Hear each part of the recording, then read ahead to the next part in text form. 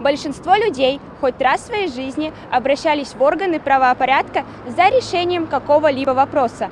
А сегодня мы узнаем отношение жителей нашего города к работе правоохранительных органов. А довольны ли вы работой правоохранительных органов? Оцените их работу от 1 до 5.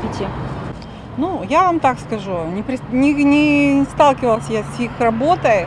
Если что-то там, чего-то бы случалось, и они бы тут же бежали на помощь, но не приходилось. Приходилось когда-то, скажем так. А вот что касаемо участкового, извините, понятия не имею, где он и что он. Как вы считаете, в полной ли мере защищают наши права органы правопорядка? Да я считаю, что всегда есть куда совершенствоваться.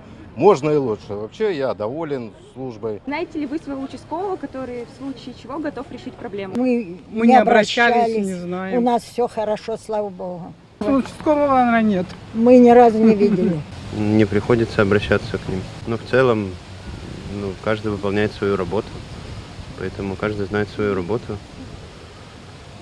А так, ну, я думаю, что работают нормально.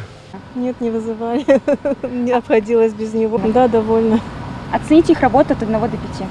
Ну, где-то четыре с половиной. Их действий достаточно для того, чтобы жить и чувствовать себя в безопасности. Давайте где-то троечку я им поставлю им. Почему? А потому что они э, реагируют, но очень с опозданием. Я вот пишу заявление, вот, и все почему-то они с ответами, что нет административных там нарушений, типа такого все. Вы знаете, довольны работой нашим. Порядок все-таки и э, меньше стало погибать людей на, желез... на дорогах. Наверное, нет.